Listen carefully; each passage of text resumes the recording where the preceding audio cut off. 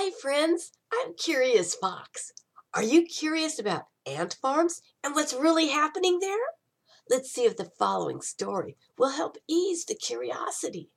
Creating a new ant hill, each ant can hold 10 times their own weight, even with being so small in size.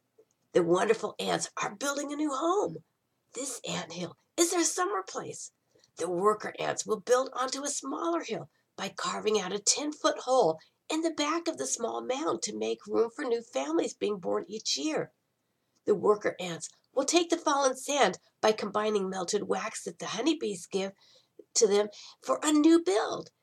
The ants pour water and dirt into the sand and melt down the wax in a small fire to use as glue.